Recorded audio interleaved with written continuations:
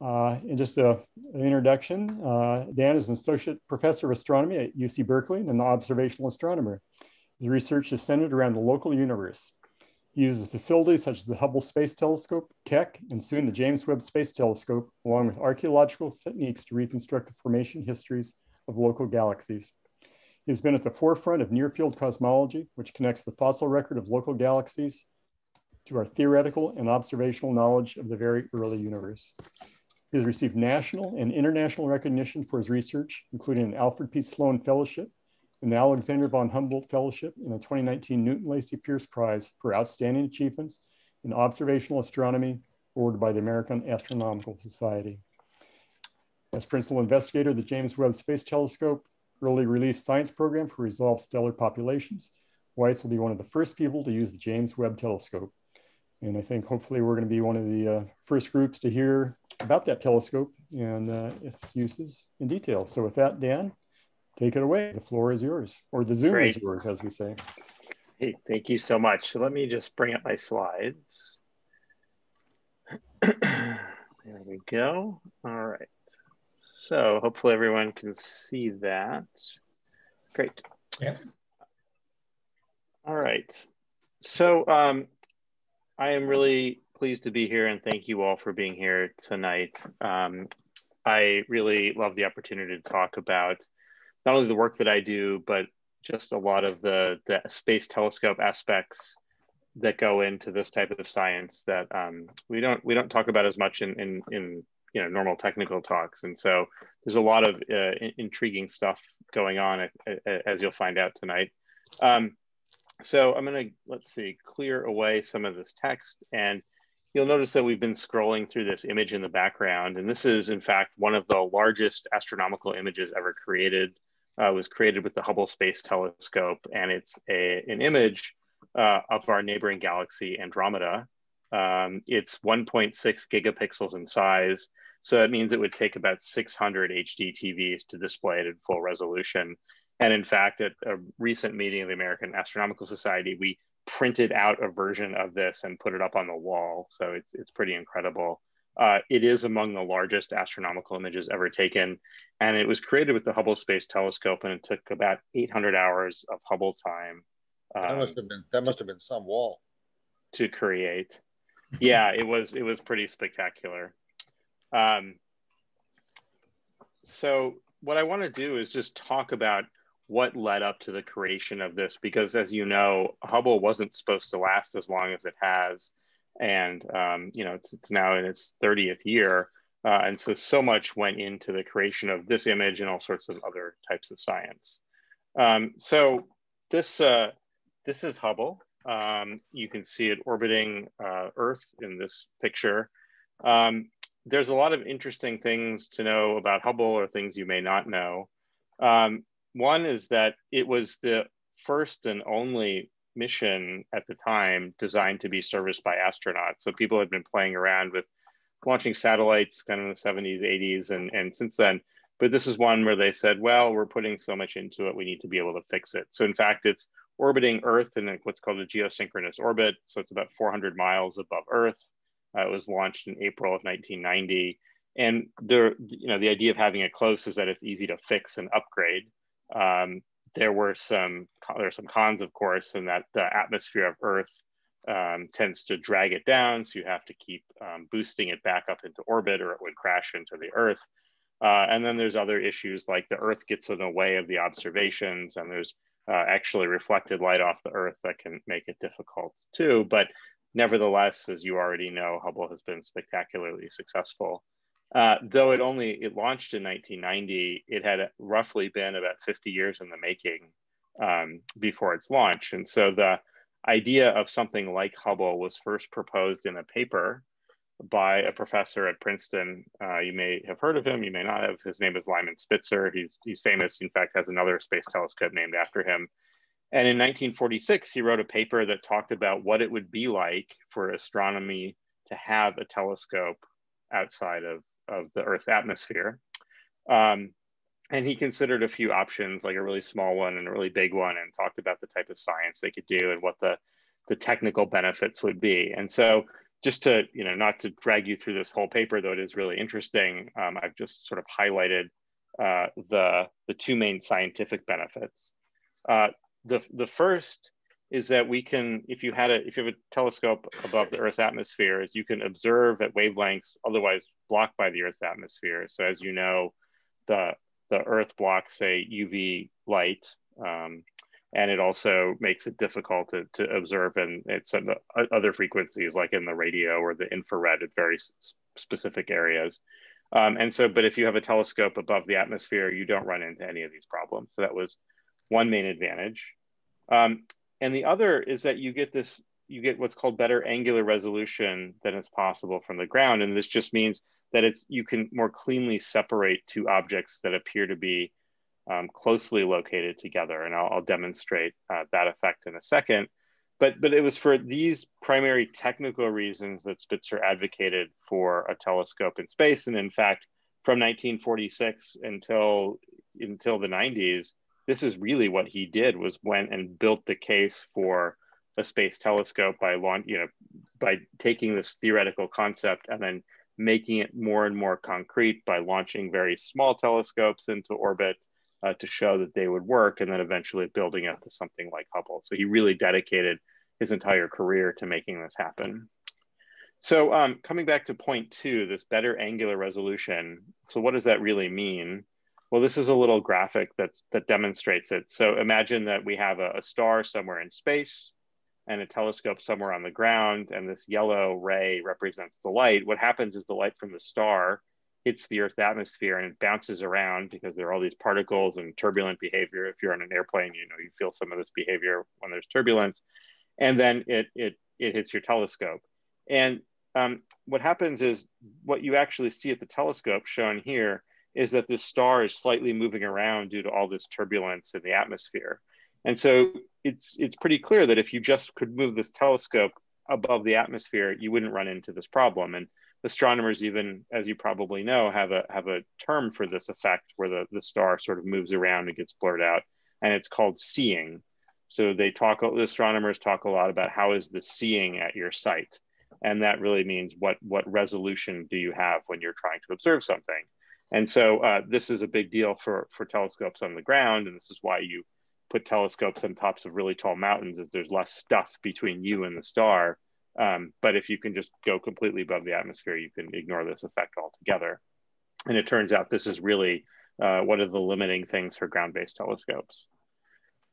So um, in 1977, after a few decades of Spitzer and others really advocating for a big space telescope and showing that it would work, Congress decides to fund Hubble. Um, the estimated cost in 1977 was $300 million. So that's about a billion dollars in today's money. Um, and of course, as you know, Congress, once they make up their mind and fund something, it always happens very expediently. Um, so this is the this is the timeline to Hubble's launch. So what you're seeing uh, on the bottom is what year it is.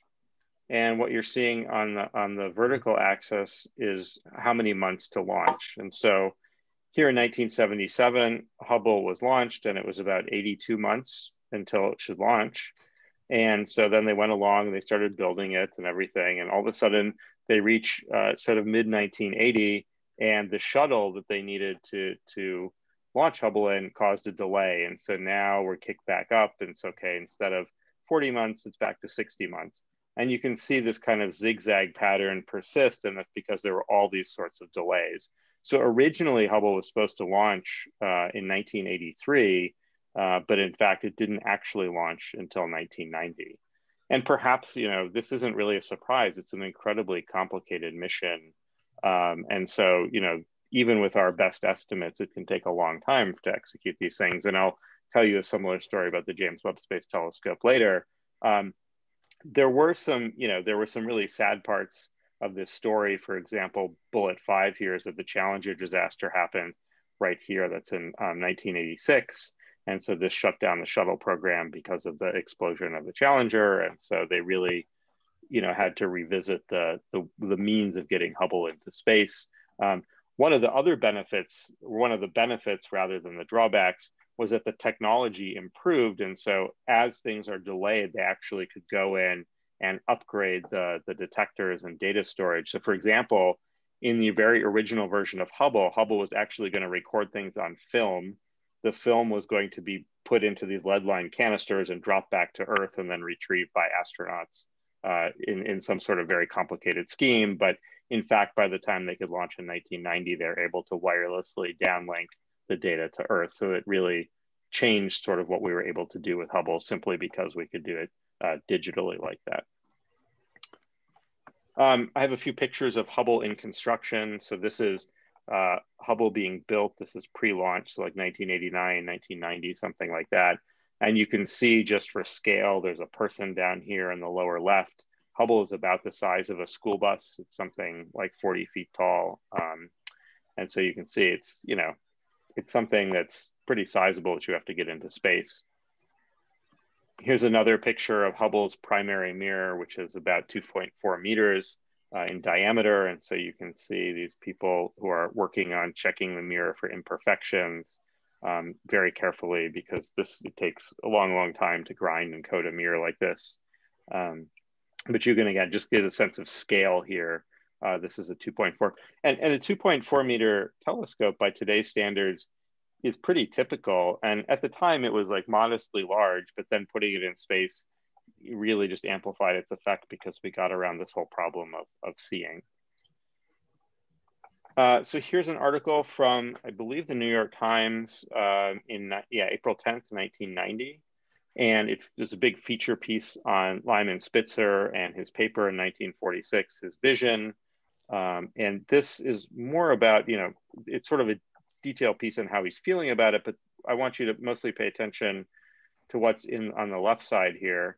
Uh, these are the four science areas that Spitzer made the argument for for Hubble, and and the things that he thought Hubble could do that we couldn't do without are figure out what the extent of the universe is, understand the structure of galaxies, understand the structure of globular clusters, and and discover the nature of other planets. And this was the strong science case that sold Congress on funding it and, and NASA on, on building it. And so we'll circle back to the, the success and, and, and maybe not success of some of these.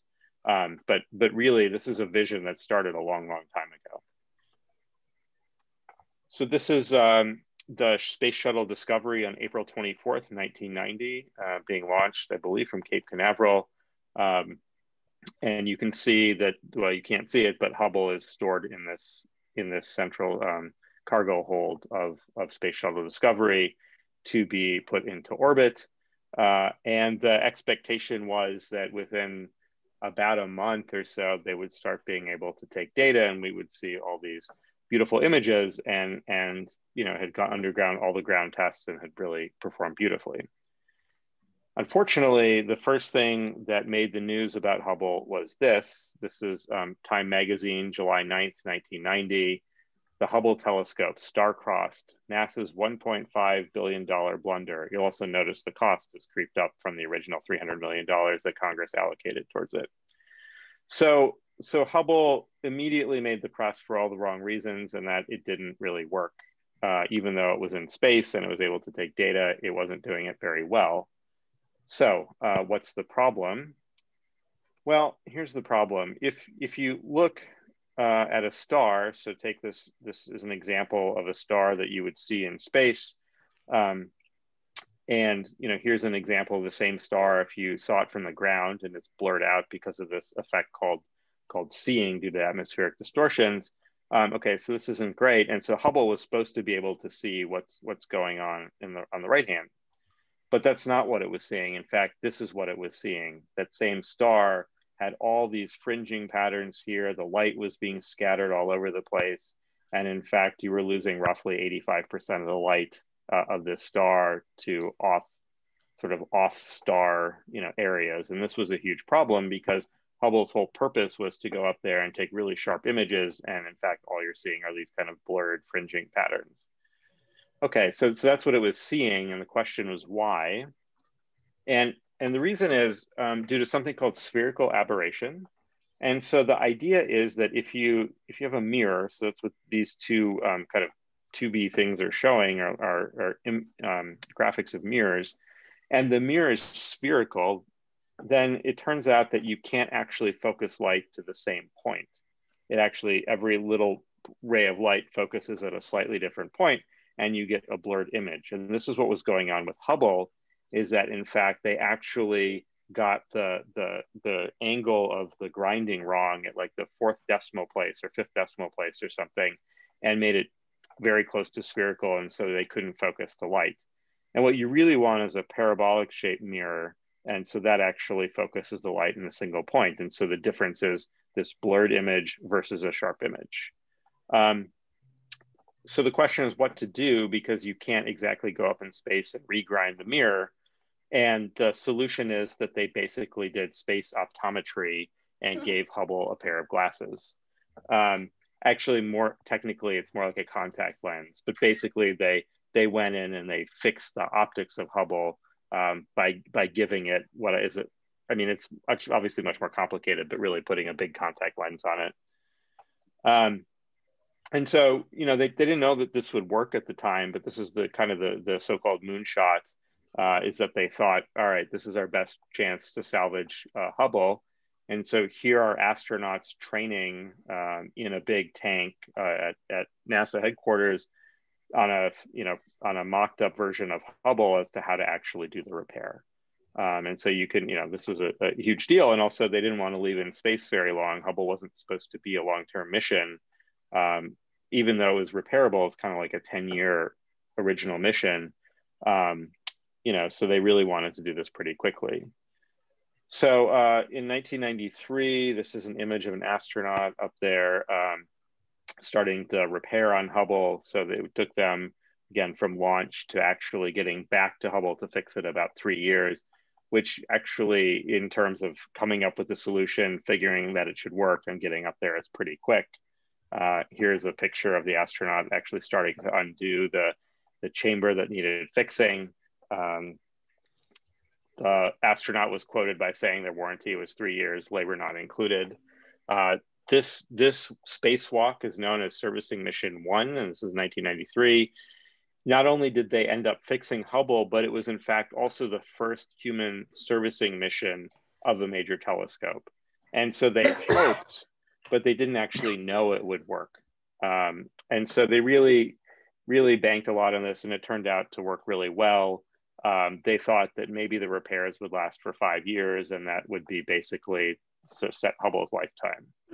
Um, and so they they thought, all right, five you know five years would be great, and they had already been talking about James Webb at this point, and so they thought maybe maybe five, maybe we can extend it and overlap with Webb, but that's about the best we think we can do. So um, so they fixed Hubble, and this is showing you a picture of a, a Galaxy M100. And on the left is the before picture. So this is the blurry picture that Hubble had been taking. And on the right is the after picture. So the contact lens, in fact, really did work and gave us the, the sharp image that, that we had been expecting the whole time. So after getting off to a slow start, Hubble really started to pick up some steam. Um, here's another really iconic image. This is the Eagle Nebula. This was taken with Hubble in 1995. And you can see this, this is a, a region in which young stars are born. And these are big pillars of, of cold molecular gas and stars are forming. You can see some of the radiation sort of near the tips of, of these pillars. And, you know, you can buy this on postcards. It's, it's one of the most iconic Hubble images ever taken. Uh, the good news is that, that Hubble is now working and we're in about 1993, 1994, and everyone is, is feeling a lot better. Um, so that wasn't the, the last time that Hubble got serviced, though they weren't sure that they would keep servicing it. They ended up doing it many, many times. So I described to you servicing mission one in 1993, but you can see in 97, 99, 2002, and 2009, there have been servicing missions. And in fact, servicing mission four in 2009 was the last time the astronauts went to Hubble. As you know, NASA retired the shuttle, pro shuttle program and they had no way of really getting up there. And that's sort of, you know, where SpaceX and other places come in now is that they're trying to provide rides to astronauts and, and figure this all out. Um, and, and basically the sum of all of these servicing missions are that they put on new instruments, they upgraded the batteries, they have these things called gyros that that move around and allow you to point Hubble, and those are probably those are some of the few mechanical pieces on Hubble, uh, and they they fail every you know five to seven years. And so the plan really was for Hubble to actually be deorbited in 2020. That is, they didn't think it would work this long after the last servicing mission. So it's been 12 years now, and Hubble is actually performing quite well. A few gyros have died, but they are contractually obligated to safely deorbit it. The plan was to do it in 2020. Now they're talking it should last, they think, until like 2025, perhaps beyond. Um, it's slowly degrading because of radiation in space, but it's still performing uh, amazingly well. This um, image that I'm showing you here is called the Hubble Deep Field, and it was taken in 1995.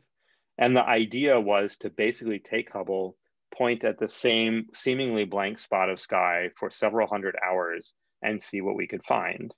Uh, and so this was one of the, there were a few key goals of Hubble um, when it launched, and this was one of them to discover what the distant universe looked like. And that was, again, one of Spitzer's uh, original ideas. And in this, this image, there's actually 1,500 galaxies of all sorts of ages. Some are sort of large and close by, others are smaller and further away uh, and, and, and exist at a time that was a, a long, long time ago. Um, but this was really, this image really changed the field of astronomy because it showed us for the first time that in fact there were galaxies in the very, very early universe. Up until this point, we weren't sure that that was true, but this is the first image that really confirmed that. Uh, so this was 1995. And then um, 10 years later, so 2005, Hubble took something called the ultra deep field. And uh, that's, that's what you're seeing here. This is with a different camera after a servicing mission upgrade. And the reason behind the Hubble Ultra Deep Field is that the Bush administration wasn't sure that Hubble was scientifically uh, making scientific progress anymore. That is, they weren't sure that there was it was worth funding it to do more science, even though it was stable enough in space. And so the director of Space Telescope at the time says, "Ha, I'll show you." And so they spent 500 hours staring at a different blank, patch of sky uh, to show that, in fact, there was even more out there than than we previously knew. Um, and so in this patch of sky, which is really, really tiny, it's something like the size of a pin needle if you were to hold up a pin needle or pinhead at, at arm's length, there, there are over 10,000 galaxies here. And many of them are even older than, than we thought at the time could have existed. And so it really just demonstrated to the community, demonstrated to Congress and the administration that there was a lot to do with Hubble still and it needed funding. And in fact, every year since this image um, was taken, Congress has funded Hubble at 100% or higher because they all have, you know, both publicly and privately seem to highly value it and they put their money where their mouth is. So, so Hubble is doing quite well right now. What you're seeing, of course, in this image are all sorts of galaxies. Everything, almost everything here is galaxy. This this little thing is a, a foreground star, and you can tell by these like kind of spiky things sticking out. Those are saturation spikes in the camera, but everything else basically are these like spiral galaxies or these tiny little things that are in the very, very distant universe. Um, and so there's a lot of galaxies in the universe. We actually now believe there's something like 2 trillion galaxies in the universe. Um, and they appear like these, many of them appear like these fuzzy patches of light, but in fact, they're pretty complicated. So if we were to zoom in on our own galaxy and, you know, close enough that we could we could see it in detail, but far enough that we can get the entire structure. Of course, this is just an artist rendering. You would see that there's a lot going on inside a galaxy. There's a you know very massive central region. There are these arm structures, and they have all sorts of different like substructure to them. These kind of pink areas are where stars are forming. These dark areas have dust, and there's just all sorts of complexity going on. Um, and so for every galaxy you saw in the previous image, you basically have this, it, it is this composite of, you know, hundreds of millions of stars and dust and all sorts of dynamics between the two that turn out to be really complicated. And in order to understand how those galaxies form, how they evolve, how they function, we really need to go to some galaxies and dissect them in great detail. And of course, the problem is that we live in our own Milky Way and you can't study something in its entirety when you live inside of it. It's like trying to infer the properties of the outside of your house by looking at out a window. You might be able to get some information, but you're really missing the majority. And so it's this that motivated our study of Andromeda. So if you think back to the first slide, I showed you this beautiful picture of, of our neighboring galaxy M31. Well, this is really why we decided to study M31. It's the nearest big galaxy which we could study in detail. And we did this by pointing Hubble at it for a really, really long time and tiling over a large area. And so I'm gonna tell you about that project. So um, this is a ground-based image of Andromeda. That's this kind of um, elliptical light towards the bottom of your screen. And we're going to zoom in on it and we're going to transition from this ground-based image to the Hubble-based image that we've put together. And there's going to be a lot of panning and, and, and moving around. So if you're motion sick, you know, you may want to, if you're susceptible to motion sickness, you may want to look away for a moment. Um, but we're going to zoom in and you'll see Andromeda appear in increasing levels of detail. You can see these dark what we call astronomical dust lanes, these bluer regions where there are younger stars that are just forming. You can see some bright red stars, some star clusters. And now we're just going to pan through the disk of M31 just to show you that with Hubble, we can actually study a whole galaxy on a star by star basis. And so again, you can just see the diversity of colors and densities tell you that there's just a lot going on here in terms of the the formation of stars and evolution of the galaxy uh, in, in tremendous detail. And remember that essentially every galaxy in the universe has stellar populations that look not exactly like this, but some combination of things like red stars and blue stars, young stars, old stars, and, and dust and other things. And so we really want to be able to drill down into some galaxies to understand them in this detail. It's just that not many are close enough to do this. So this survey of Andromeda um, is part of the pub is is called the Panchromatic Hubble Andromeda Treasury or the PHAT program, um, and the idea was that we would take Hubble and tile over a large area of M31. Um, and, and the reason, just to reiterate what I said briefly, is that from the ground, so this little inset in the upper left, this is uh, an image of Andromeda taken from the from the ground. And this, this little green box is a region we zoomed in on, and you can see that in the background. And even more so, this little cyan box is a really small star forming region in Andromeda taken from the ground. And you can see in the inset, there's all these blurry stars. And this has to do with the effect of seeing that I described earlier. And in the bottom image, this is the same region only seen with Hubble. And these kind of blurry blue blobs resolve into these individual points, which are stars. And so we've gone from, okay, we can kind of guess at what's there to we know exactly what's there because Hubble is able to resolve it and tell us. And so this was the real motivation for, for pointing Hubble at Andromeda was to study galaxies in detail. And also we knew that Hubble could do, um, could do the job. So just some, some basic details about, about PHAT.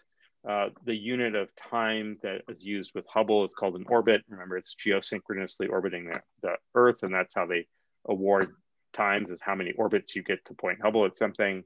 Uh, in, in, orbit, eight, so we were given 828 orbits, and this is by far the largest Hubble program that's ever been undertaken. The typical program gets like two orbits or something like that. So this is absolutely uh, enormous. Um, 828 orbits is something like 75,000 minutes, which is something like 50 24 hour days. And we did these observations spread out over four years.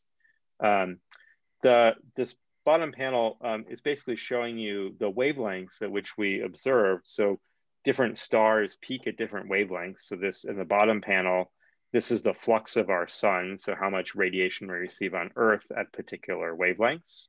Uh, and it peaks, as you know, it peaks in the green because this is why plants are green. Um, and, and so there's this green filter on Hubble, but we also imaged uh, M31 in ultraviolet, which again is blocked by our atmosphere, and these other infrared filters because there are a lot of red stars out there. And, and so we could sample them as well. And so we did this, this whole panchromatic survey at six different wavelengths. Um, so some, some things about the actual uh, observation. So this is a, a, different image of Hubble or of M31, not taken with Hubble, but with a, a different space telescope. Um, just to give you a sense of how big Andromeda is in the sky, this is the, the moon. The moon is about half a degree across. So kind of like, you know, if you hold your your your fist up, that's about uh, the size of the moon. Um, and and this little box, I think I put, yeah, here's a, a red box I put around it. That's the size of one HST field. So you can see that Andromeda is several moons across in terms of its size, and Hubble is this, this really, really tall, small box uh, on the moon. Um, and so it would take many, many Hubble pointings to tile lots of Andromeda. So we said, well, we don't really need to tile all of it. We really need to tile like a good fraction of it to understand what's going on. So we picked this sort of upper quadrant. So we're going to zoom in on that part. And this pink outline are all the, is, is the survey area. So we cover everything from the central region, which is called the nucleus, all the way out to the edge of the star forming disk. Um, and there's a really complex observational pattern here that I'll, I'll try to break down for you, but I'm of course happy to answer questions about it. So, so each one of these units, these blue things is called what we call a brick. And a brick is composed of, of many individual Hubble pointings. So we'll zoom in on one and I'll just describe the process to you. So in fact, Hubble has um, three cameras on it. Two of them are, are next to each other and one is different part of the sky. So you can actually point them both at the same time. And so one of these little fields you can sort of make out here, that's one Hubble field. And so one of these bricks that we have is six by three Hubble fields.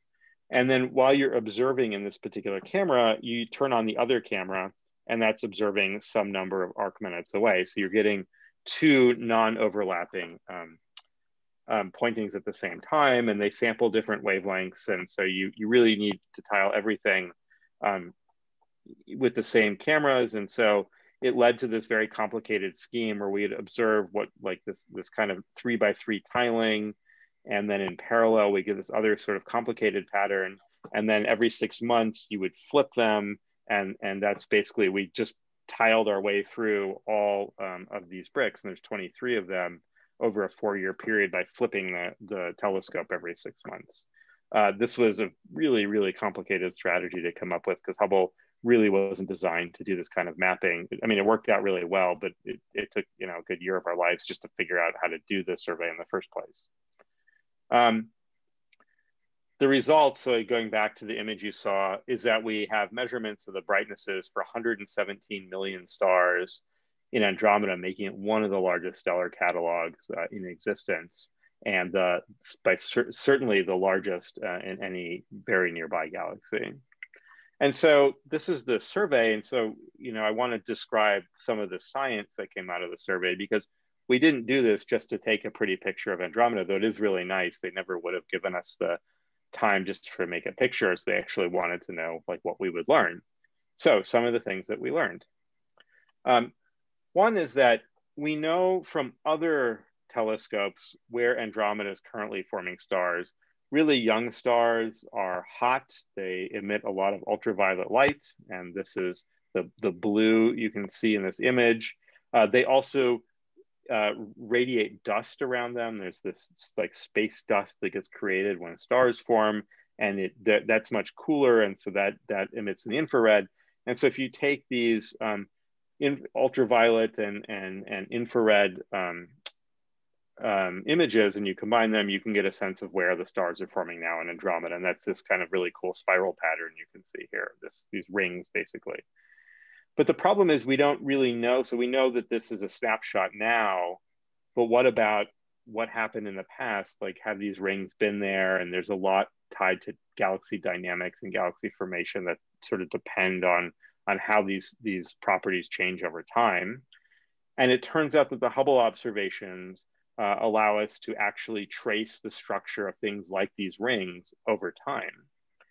So um, the way this works, without getting into a lot of detail, or that it, this is a, in the background is a Hubble image of, of Andromeda, it's sort of zoomed in. And if you look at these two different regions, there's a green box and a blue box, they just look different. There are more blue stars in this region and more red stars in that region. And it turns out that if you measure the brightnesses of the individual stars in these regions and compare them to models, and you know this involves a fair amount of physics and math, um, you can actually make maps of when stars formed in the past. So you're not just restricted to where they're forming now, but you can actually trace them back uh, over, over cosmic time. So um, this is where stars are forming now, and we have this nice kind of ring structure. Uh, and this, this is a reconstruction based on Hubble's imaging of where stars were forming half a billion years ago. So we're talking about sort of the times where dinosaurs roamed the Earth. And what you can see are that Andromeda's main star forming rings actually were there when the dinosaurs were around, so half a billion years ago. And this is really was a surprising result because the people who do galactic dynamics, like how galaxies should should should work, they didn't think things like this should persist for so long. They thought these are really transient phenomena. These these rings should just be gone in a very short amount of time. And it turns out that that's not true. And so we don't still understand why these rings persist for so long, but Hubble was the first, and, and our program was the first to show, in fact, that they do. Um, so this was a really interesting result that people are still trying to digest and figure out what exactly is going on, but it's really changed our picture of, of the of how galaxies form and evolve. Um, another area that that we've made tremendous progress uh, are beyond just stars. So in Andromeda, we see other things. We see star forming regions. So that's what this green arrow is pointing to. We see dust lanes. So you can see this kind of diffuse feature that goes across your screen, and that's due to dust formed uh, in the process of star formation and um, tends to obscure light we see globular clusters. So these are these very compact clusters that formed in the very early universe. So there's like a million stars in a very, very small volume, um, and they're very old. There are young star clusters, so things that are just forming today, so groups of stars that are just formed today. And there's much, much more. And so the idea is that not only could we do stuff with the individual stars, but we could learn a lot about just the other constituents of the galaxy. The problem is that finding these things turned out to be quite challenging. The original plan was to have members of our team, the PHAT team, go through by eye and find all these interesting features. And so we found eight experts who were really good at doing this, and we said, go. And basically, they got through about a quarter of the data, and it took several months. And they were exhausted, and they couldn't look at more images because their eyes hurt. And they just said, this is not going to work. We have to come up with something else. And so we ended up coming up, we ended up pairing with this project called Zooniverse. You may have heard of it, um, but Zooniverse is a citizen science project. That is, you can put a science program on the web that has like very clear defined goals and ask people from around the world to participate and help, say, classify things or find things or you know tell you whether other things are similar or group them together and so this led to the birth of something called the Andromeda Project.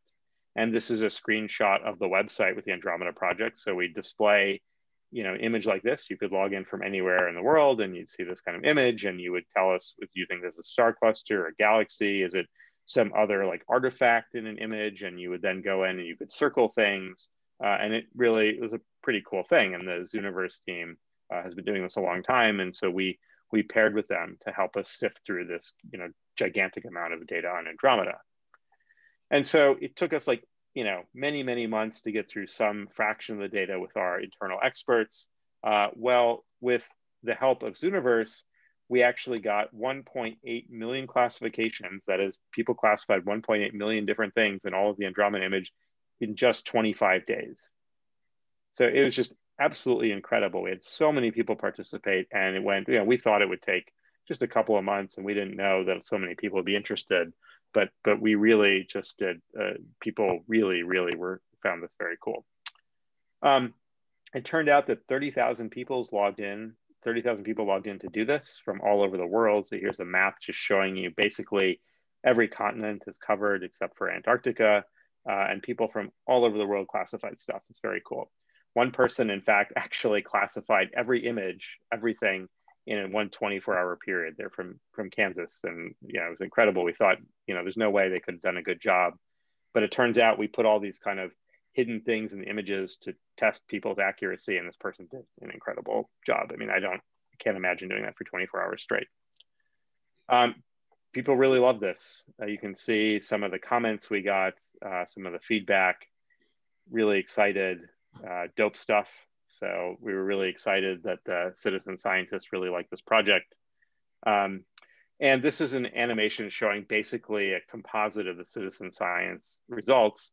All these white circles are things that people circled on their screen to indicate what they thought the size of the object was, and the green circles are things that they thought were not objects. And so basically, this is you know like a time lapse of, of how it worked in practice. Uh, and we were, of course, just blown away by by the citizen scientists across the globe really pitching in. So uh, at the end of the day, uh, some of the things to come out of this were a catalog of star clusters. And so overlaid on this image of Andromeda are the 2,700 star clusters that our citizen scientists identified. So that's pretty cool. It's the largest star, star cluster catalog in existence. They also found another 2,200 background galaxies. So these are galaxies that are in some part of the distant universe, but you could see them through the disk of Andromeda just by sort of a chance alignment. And so they found 2,200 of these, and they're useful for other types of science that I won't talk about today. So um, this resulted in six times more star clusters than had previously been known. So this plot is showing the number of star clusters as a function of how bright they are. So on the left, you can see in the previous catalogs shown in red, uh, you know, there were some star clusters known. Um, but as you go to, to, to um, fainter star clusters, this black curve shows that PHAT really outperformed what we were able to do previously. And so we really got down into the weeds of the star clusters uh, in Andromeda. And, you know, really, we know all galaxies have them. They're just so, so hard to see. And so it was amazing that we can even do this in a galaxy like Andromeda. Um, just to give you a little bit of eye candy, this is from a press release we made uh, with NASA. If you zoom in on this white box in our PHAT region, you would see you'll see this in the lower left-hand corner. So all this kind of structure, this blue area where all these young stars are forming, and every little white box is a star cluster. And these six cutouts to the right are actual Hubble images from our survey of all these star clusters. And so you can see these are regions where all sorts of young stars um, are, are forming today. So very, very cool. I mean, again, this level of detail is something that we just hadn't had before. One of the things we learned from this process is that um, you can go in, you find these star clusters, and then you count how many stars are in each of them. And star formation theory tells you how many there should be. And we've sort of calibrated this number in the Milky Way, our own galaxy. And we went in and did this in Andromeda, and we found out, in fact, that M31 has 25% fewer massive stars than is predicted based on our understanding of the Milky Way. And this is um, really surprising. We didn't really expect to find this, but it has a lot of implications because massive stars are the things that explode. They cause supernova. They inject metals. The, the stuff, you know, we're made of star stuff from these exploding massive stars. But if you have fewer of them, that really actually changes the composition of different elements and, and, and chemical um, properties. And so that M31 has fewer um, than we were expecting was was really a surprise. And so this is also something that we're working on understanding from a theoretical side. One of the last things I'll describe is mapping Andromeda's dust. And so this is a little technical, but, but bear with me. Um, what you're seeing here is a plot of a star's temperature versus its luminosity. And these, this red streak is basically uh, a, a set of stars in Andromeda. And they they span a huge range of luminosity, but a really narrow range of temperature, and so uh, they're really excellent stellar thermometers. And the idea is that if you have these things that are really good at telling you temperature, and you go and you, you look, and then you see that there's an offset, and so if you look in the right hand panel, there's one streak here and another streak here that's telling you that there are two different temperatures, even though they're they should they should have identical temperatures, they don't it turns out what can cause this to happen is the presence of this stuff called dust, which I mentioned earlier. And it basically takes some of the light out of the picture. And so the idea is that this kind of narrow streak here are stars that are closer to us than the dust. And these stars on the, the right streak are behind the dust. And so it turns out that by measuring the difference uh, in, in, the temperatures of these streaks, you can figure out how much dust there was.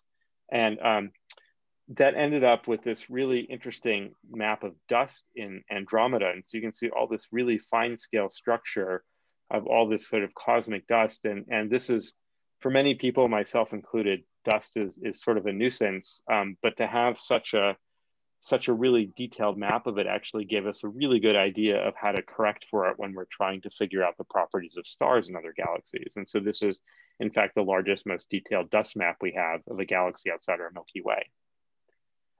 So, um, you know, those are some of the things we learned from PHAT. And I want to circle back to the, the Hubble Ultra Deep Field image I showed you earlier, because, you know, there's 10,000 galaxies in here.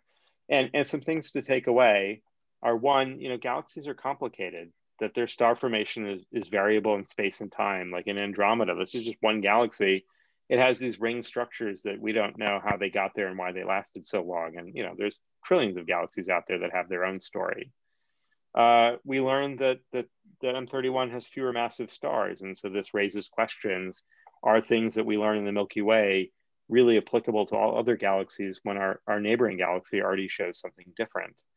And, and there's lots of messy dust. And, and so again, we can do these very detailed studies in M31, but it, and, and we have to take those lessons and apply them elsewhere because we just can't do this type of detailed study uh, for many of the galaxies, for any of the galaxies you see in this background image so that's sort of where we are today. And I want to now just conclude by talking about what's next.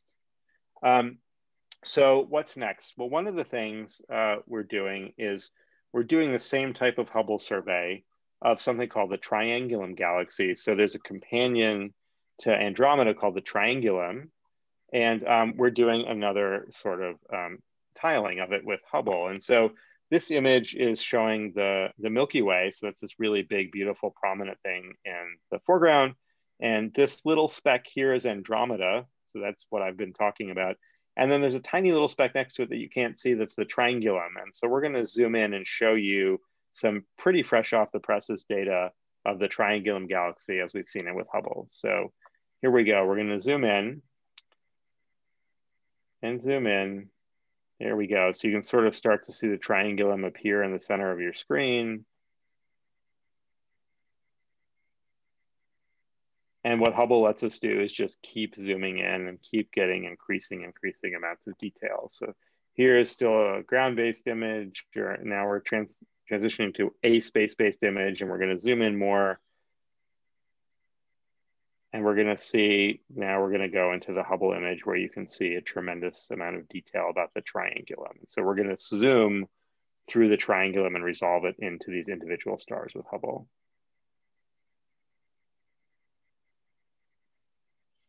And so this is what we're doing currently with Hubble is doing a survey of this galaxy, the triangulum, and using something similar uh, to the Andromeda project, where we had citizen scientists find star clusters in M31 or the Andromeda galaxy, we did the same thing in the Triangulum. And so you can see all these blue dots are um, star clusters. There's 1,300 star clusters that we've discovered in the Triangulum. And so this is a fairly new project. So this is where we are right now, but we're also going to ask questions about what the dust, what the number of massive stars are and just try to understand what the variation in these properties are as you change galaxy type. So that's what's going on with Hubble. And now um, I can tell you a little bit about uh, the James Webb Space Telescope. So James Webb is, is billed as the replacement to Hubble. And this is a, a picture of one of the technicians standing in front of Webb.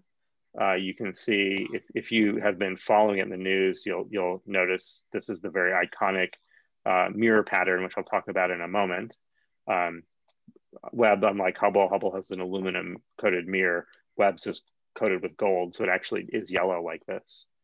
So um, this is a, a, comparison of different types of tele space telescopes and their sizes. So I've been talking to you about Hubble. Hubble um, is roughly the size of a school bus. This is the Webb telescope. It's roughly the size of a tennis court. Um, and so you can just get a sense of, I'll, I'll show you some this in, in more detail in a moment. But basically, Webb has this big sun shield here that is going to expand and keep it's a, primarily operates in the infrared and needs to be cool. And so they had to put this shield to keep the solar radiation off of the telescope. And that's what you're seeing here. And it unfurls to be something like the size of a tennis court. Uh, we've been taught, you know, I showed you a picture earlier of Hubble's mirror. So this is about 2.4 meters. Uh, this is the scale, this is the size of a person, and this is the Webb telescope, which is going to be six and a half meters in diameter, so, so substantially larger. And you can see it's actually this really um, crazy segmented mirror. And that's because it actually has to fold up and fit inside of the telescope. And it's going to be really scary because they have to unfold it in space. Um, some things about Webb. Um, so Hubble is in this geosynchronous orbit. So it follows more or less this kind of blue trajectory around Earth. Uh, the moon is about 380,000 kilometers away. Webb is going to be launched way out here. It's what's called a Lagrange point. It's a gravitational stability in the solar system. Um, and so it can orbit even though there's nothing like there's no planet here or anything, but it's going to be out there at a million miles. So it is, unlike Hubble, not serviceable. Uh, so it had better work. One of the scary things about Webb is it's so big, it doesn't fit into any of the current rocket configurations. So they had to design it to fold up and then it has to go do like an 800 point unfurling maneuver in space. Uh, and so this is, you know, I'm glad I'm not a technician who's worked on this my entire life because those, you know, 10 minutes it takes to unfurl or whatever are, you know, going to be really scary. So just to give you a sense of this is a, an artist's conception of what Webb is going to have to do once it gets out to the million mile point from Earth. So you can see it's going to start to have to unfold itself. Has to get the mirrors out there, and then it's going to have to unfurl this big sun shield. And these little pieces of the sun shield are only about half a millimeter thick, and there's five of them that require very delicate spacing. And so it's just kind of yanking itself um, into configuration here.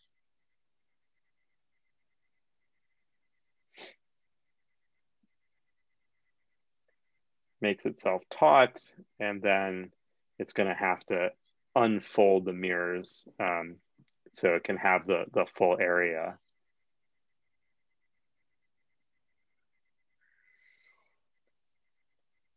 And so you can imagine, of course, all the number of things that could go wrong with this.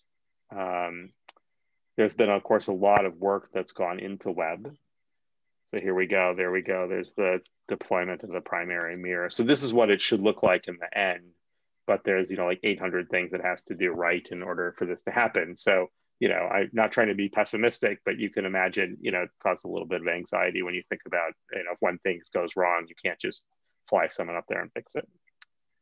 Um, Webb, of course, has been in the news for all the wrong reasons over the last decade. Uh, Nature ran this piece in 2010, the telescope that ate astronomy. Uh, so the issue was that Webb was originally supposed to launch in 2011, and now it's 2021, and it's finally launching. And so it's, you know, roughly a few billion dollars over budget and 10 years late. Though, if you think back to the timeline I shared with you for Hubble, it's actually basically on track with with what Hubble had done, although for very different reasons. Uh, Webb had a lot of technical challenges that were, I think, controllable, but with with you know Hubble, the you know problems with the shuttle were not were, had nothing to do with the telescope itself. However, uh, in the last two years, they've made tremendous progress, and the launch date is now fixed. It's going to be October 31st, 2021. So when you're out for Halloween this year, uh, you can think about James Webb unfolding itself in space uh, as a trick and a treat, I guess, at the same time.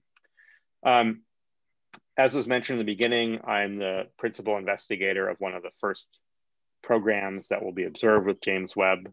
So there was this idea to create something called early release science programs.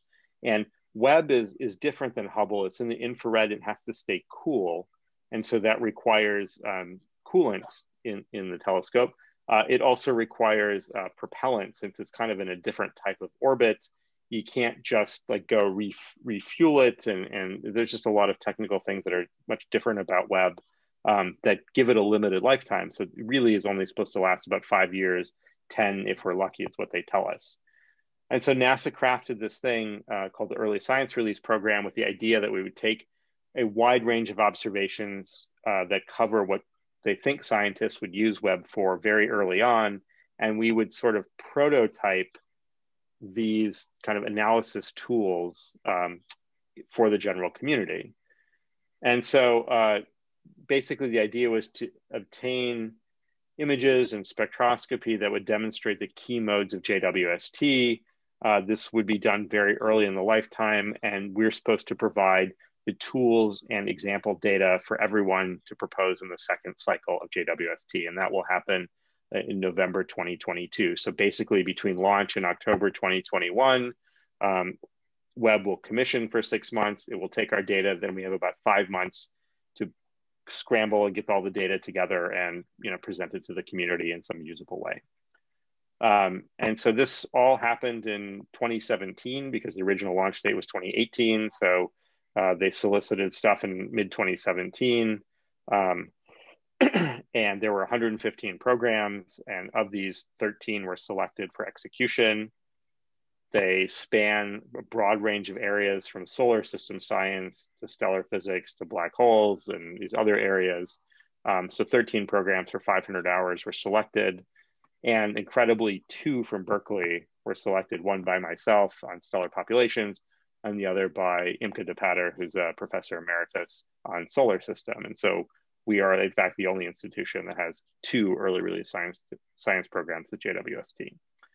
So uh, I can't tell you more about ERS because we're still waiting for the telescope to launch, but I'm happy to talk about uh, some, you know, answer questions about the program. I just want to, in the last minute, um, tell you a little bit about what's going on in the astronomical community right now because it's very relevant to everything I've told you about. Uh, right now, every every 10 years, astronomy uh, throughout the US goes through something called the decadal survey process, where we all get together and you know a bunch of committees and everything and come up with ideas for the next decade of ast- astronomy astrophysics and so um, Webb was actually recommended in the 1990 decadal, and now it's only being executed in, in 2020. And so there's a lot of long range planning going on. So people are now thinking about what should we be doing when Webb's time is up, or what should the next big project be? And so the big thing being proposed is something called the High Definition Space Telescope. Um, and the idea is that we had Hubble at a 2.4 diameter mirror, James Webb at 6.4 meters, and this new generation of telescope would be about a 12 meter diameter mirror. And essentially, what this would do is allow us to resolve almost any galaxy in the universe with similar detail to what we've done in Andromeda any galaxy, so any of the two trillion galaxies at, at a level of detail similar to Andromeda. And so that's one of the the main science drivers for this this next generation large telescope. And another is that it'll actually be able to detect biosignatures of life on other planets. And so this is one of the ideas being considered. The results of the decadal, this, this survey started um, about two years ago, are supposed to be out sometime this summer. And so we'll learn what is going to be recommended um, for funding to Congress. And this is, I think, one of the most exciting things on that list. So just to conclude and circle back to the beginning, 1946, Lyman Spitzer is a professor at Princeton, writes this paper that says we should put a telescope in space for these reasons. And the scientific reasons are that we want to understand the extent of the universe, the structure of galaxies, the structure of globular clusters, and the nature of other planets. And Hubble has done all of those things. And we have now gotten a taste of what each of these things are. We know that there are thousands of other planets. We know a lot about globular clusters and galaxies. But now imagine if we launch something like a high definition space telescope and we can see all of this in detail. We can tell if there's life on other planets. You know, we'll really realize these visions. And it's, you know, a testament to, to Lyman Spitzer that he thought about this, you know, 70 years ago. Um, I will stop here and take any of your questions. Thank you very much. How would it detect biosignatures? What exactly would it do? Um, so what it would do is it would take, um, it would measure the spectrum, so its flux as a function of wavelength of other planets' atmospheres. And there are certain types of, uh, for example, oxygen and methane and carbon dioxide compounds that are theoretically only produced by life similar to that on Earth. Doesn't mean it is necessarily human, but but that it would be sort of carbon-based form of life.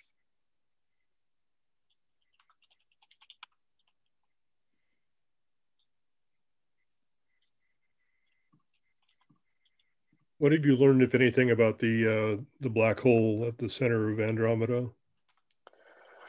Well, we actually we think it's the result of a merger of at least two really big galaxies. So it's much bigger than the one that's in the center of the Milky Way. And it appears that the nucleus is at least a double, if not triple nucleus, um, which is really cool because we know that this should happen, but to have our neighboring galaxy have a couple different nuclei tells us that the black hole is being fed pretty substantially through galaxy mergers. Um, in detail, it's hard to say more just because you know the black hole is really small and even Hubble can't see it. Um, but that it's being fed through mergers uh, is a big confirmation of of some theory. Thank you. Uh, this is Ken Lum. I just have a question. Uh, your uh, the process by which you're processing the data from uh, the PHAT program, uh, even mm-hmm. with the even with the help of Zooniverse, is taking yeah. an enormous amount of time. And so obviously yeah. you must be looking at automated ways of doing the same thing a whole lot faster. And I was just kind of wondering what the, that uh, aspect of things uh, looks like. Yeah, that's a great question. Um, so the the program took four years to observe. The data took about two years to reduce, and that's done.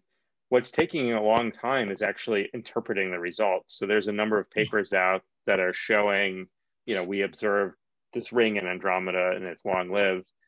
And now what it's doing is it's taking a lot of brain power from the theorist to sit there and try to understand why this is actually happening. So I think on the automation side for the data, we're doing okay, but the results have been so unexpected that we now have to kind of go back to square one and scratch our heads and say, well, why are we actually seeing this? And, you know, the process for discovery and thinking about things is obviously hard to automate, but it, take, it can take quite a bit of time.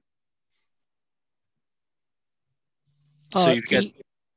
I'm sorry. Uh, go ahead, Ken.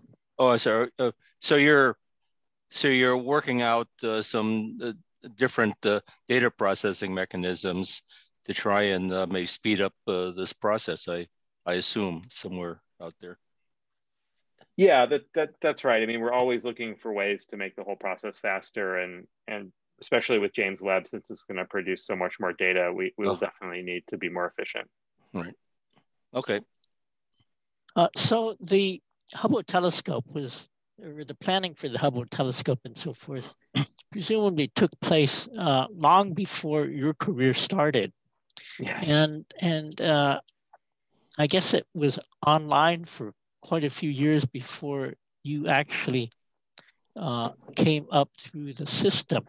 I presume. Yeah. I, I actually don't know precisely when your use of the data came out of that but mm-hmm. I, I, I presume that to a large extent is is the development of astronomy and your interest and so forth were determined to a large extent by the so-called infrastructure that was decided on by the uh, decadal decisions made by the, the decision makers that uh, sort of decided to fund and, and, and build the uh, Hubble telescope in the uh, uh, 70s or 80s, I, I mm-hmm. guess.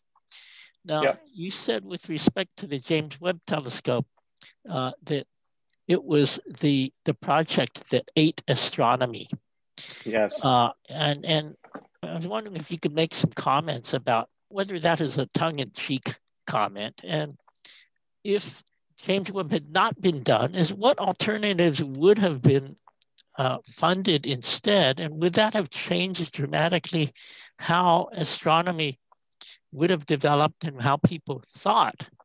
Because obviously, different areas would have been uh, investigated and the tools for different areas would have gone forward. Yeah, that's, I mean, you have a very astute observation and an excellent question. The the issue with James Webb, it was not a tongue-in-cheek comment that it that it almost that it ate astronomy. I mean, there was very serious concern that Congress would no longer fund big astronomy missions uh, after James Webb the debacle. Basically, I mean it. The problems with James Webb, James Webb, unlike Hubble, were sort of self-inflicted. They had um, problems that were preventable. Uh, the wrong, say, solutions were used to clean parts of it that ended up disintegrating O-rings. I mean, things that were very sort of um, just just flawed. And then there were other things that were less controllable. But but the sum was that there was a lack lack of confidence for a long time in the ability of NASA and the ability of the the actual contractors to even build the telescopes. and and so this led to Congress saying, why should we pour more money into this if we don't have confidence in you building it? And so it took a lot of effort uh, to to rectify these problems, and then convince Congress ultimately to complete the funding. In terms of, you know, and so so this is where you know I'd say it, it did at some point seem to eat astronomy because the feeling was that if it didn't work, and the feeling sort of is if it doesn't work, like it gets out there and gets stuck and doesn't unfold, Congress will be reluctant to fund any priorities laid out by the current decadal. Now, the thing about the American budget system, which you know many of you probably know, is that if you don't ask for it, you don't get it. In Europe, where they do, they have a very different scheme. They plan like 20 years ahead and they allocate this money and, and like it's very organized, but they don't shoot for really big things. In the US, if you don't ask for a big space telescope, Congress is never going to think about funding it. So um, the alternatives to Webb proposed in 19 there were there was nothing. It was kind of Webb or bust. Um, and then there were a bunch of smaller things. And the idea was that finding the first galaxies, which is really what Webb is designed to do, was the most pressing question of the 90s, 2000s. And we still actually haven't done it today because only Webb can do that. That's that's why it's being built. Um, so it wasn't. It's not clear to me that there was uh, a, an, an alternative path that could have been taken, or that another option was being considered. If we hadn't asked for Webb, it's you know Congress would have said, okay, fine, we'll use the money for something else. They wouldn't have just given it to astronomy for other things. Um, and so, with the current decadal, um, the big selling point is the detection of biosignatures and similar things in exoplanets uh, and planet, you know, planets outside our solar system. Um, and that's something that we've gotten feedback that Congress is very excited about. And so it's these really key science drivers that really push the US to do these large missions.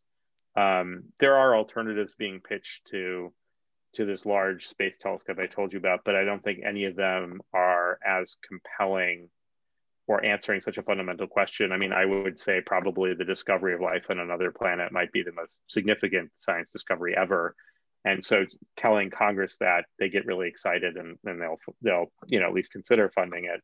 Whereas if we pitch more modest things, they're less likely to be interested and they can say, well, we have other things we'd rather do with the money. So it's a really, you know, it's a really great question and and you know, we could talk for a long time about strategy and and in terms of funding these kind of things. So obviously you believe and it's to some extent true that there isn't a concept that the dollars that go to astronomy would perhaps instead go to earth sciences or to any other science program. It would probably get frittered away uh, in uh, next Iraq, Libya, you know, whatever deb- debacle uh, the, political idiots uh, would probably go to rather than uh, actually uh, use that funding to deal with with technical issues of, of, society per se. Yep. Yeah, it's the one thing that I've, I, you know, I, I've been in the field almost 20 years, but people who are far more experienced than me have shared this that if you don't ask for it, they they will not just give you the money. They will not put it somewhere else. You just don't get it. Uh, yes, yes, okay. Then, then um, I ask you is, uh, so as you sort of said, is you're, you're 20 years down or, or, sort of 20 years into your career, is if you're sitting here today advising where the uh, next quasi-geek person who's wanting to go into uh, science in general, or, or however you want to define that, would you still think that astronomy is as uh, attractive and interesting and so forth as what attracted you into it? Or are there some other opportunities that you see that are uh, similarly interesting or that you think have uh, enormous potential that you think if you were sort of starting today, where you might be headed? That's a, another great question. Astronomy, in to some large degree, and this is I'll paint with a broad brush here, uh, is is in many senses sort of merging with data science. That is, you have you know people with specific astrophysical understanding of how the universe works, but they also need a lot of the skills to query large complex data sets because we have I mean, with James Webb, with I mean, other telescopes on the ground that I haven't talked about today, we're talking about petabytes of data that are going to come in, that are going to tell us all the stuff about the universe. And so, I think that I would encourage people with interest in astronomy to go into it. But I would also say that the technical skills that you need to have now are even very different than than 20 years ago when I started. Um, in that the the sort of base level data science, data engineering, um, really just being comfortable working with large and, and, and challenging data sets that maybe you're not taking, you know, you may not go to the telescope yourself anymore, but someone's producing this data is, is super important. And so I would encourage people to go and think about the, the data side as well as the astrophysics side. I think it's going to be decades before we really understand exoplanets and, and other things like this. So I think there's a lot left to do on the astronomy side. And additionally, I would say that we're becoming an increasingly global environment science wise. I mean, NASA and the Canadian Space Agency and European Space Agency and China to some extent are having to collaborate on ever larger missions. And so having an understanding of the global relations is going to be important too. And so that's you know, sort of this tie between science, data, and I think an understanding international policy is, is what I would tell people um, going forward. I think for the club to look into uh, getting involved with some of these political organizations, organizing maybe other clubs, other voters across the country to push some of the initiatives that are in the decadal. So maybe that's something the club talks about at some point. Yeah, I would recommend. I mean, the decadal is, you know, I mean, it's supposedly a month away or something like this from coming out. If, if you know, I would certainly encourage your members to to read it. It's really, really interesting stuff. We have a question in chat here um, from Jim. Yeah. Uh, that are there any other distinctions between the Milky Way and Andromeda than those you mentioned? Mm. he's talking about the the star uh, formation size and things. And are there hypotheses regarding these or both of the, the ones you mentioned earlier? Yeah, that's a great question. I mean, I could probably give you a whole separate talk. In fact, I have a whole separate talk on the distinctions between Andromeda and the Milky Way. There are a lot. Um, we'll sign you up for that. All right, I'd be happy to. Um, the the biggest ones I can tell you about are that uh, we think Andromeda is a more evolved galaxy. That is, it is not there aren't as many young stars. It's probably had a bunch of big systems collide into it where the Milky Way hasn't. Um, it has more dark matter than the Milky Way. It has a bigger black hole and a different type of nuclear structure. I mean, there, there's a long list of these things. So, so yeah, there's there's there's a lot of reasons, but we also think more galaxies in the universe are like Andromeda, or at least more big galaxies are like Andromeda than they are the Milky Way, from from what we know. And so, it's unclear if we should take conclusions from the Milky Way and impose them on other galaxies, or if it would be smarter to, you know, take conclusions from Andromeda and impose those on other galaxies where we can't study them in detail, or if we, you know, maybe need to spend more time just making sure that the differences are real. Um, but yeah, there, there are some fairly substantial differences between the two systems. And then uh, my question is, uh, how how are you able to get funding or or thing for 800 and something odd rotations off the Hubble? Yeah, um, that seems like a a very convincing paper. well, um, first I should say thank you to everyone on the call because it's funded by the taxpayers. In the logistics of it are that when you get time on Hubble, it was so so when when Hubble was created, they created a model where every time you got data, you also got funding to analyze the data because they didn't want people to just take data and not do anything with it. It was too expensive. Um, and, and, and they really wanted a lot to come out of it. So they incentivized us. And so when we were awarded the 800 orbits, we were awarded a lot of money to go with it that allowed us to do all the analysis. Without the money, not, you know, we wouldn't have been able to hire people to do it. So um, so it really is a structure that's designed to to produce science because it allow it provides funding with it. Well, when I ask you a, a, question about the, the department there at Berkeley, astronomy sure. department, how much involvement in these sorts of projects are undergraduates uh, given an opportunity to get into this stuff? And then mm. sort of uh, along the same lines, or, or you know, uh, with respect to distributions and stuff, is are, are most of your graduate students uh, coming from the United States, or are, are you getting a, a, large number of foreign graduate students? And if so, is where does representation mostly come from? Yeah, great questions. Um, so the undergraduate question first, uh, the answer is undergraduates are really involved in research. I will speak from experience. I was an undergrad at Cal like 22 years ago, and I was doing astronomy undergrad research, and that's how I got into it. Uh, so not only is you know that my path, but also one that I advocate for a lot, and our department is really good at doing. Um, as of last count, we had 97 astronomy majors, so it's the largest astro- uh, undergraduate program in the country. For the graduate side, um, the situation is that we get a lot of so we get a lot of international applicants. The way that Berkeley, I mean, this is well above my pay grade, is set up, or that international students cost more for us than than domestic students, and so we don't admit as many because we can't afford to have them all in the department. Uh, we have a an applic- applicant pool that largely comes from Southeast Asia so India, China, Japan, Korea. Um, but really, out of the students we admit every year, like maybe we can take one international student. So like I don't know, ten percent of the incoming class can be international. And what programs are you competing with for uh, for graduate students? Are, are they Harvard, uh, Caltech? Uh... uh Harvard, Caltech, Princeton, and MIT are probably our main competitors. Yeah. You'll notice we're the, we're the only public school there.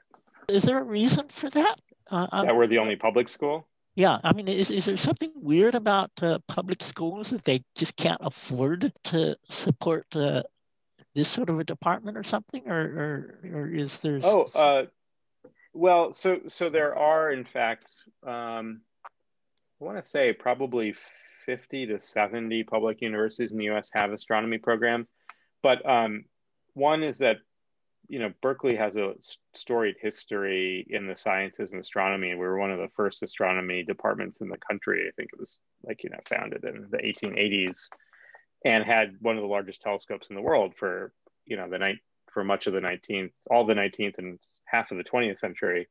And so, just by virtue of like building up reputation um, and donors and everything, um, it really helped the reputation of the department. And then, of course, the university when they have top departments invest back in those departments. Um, whereas other schools started later and they may have had different priorities in terms of what their land grant missions were etc so part of it is just the storied history of berkeley has led to our department has led to just a, a big advantage in that area.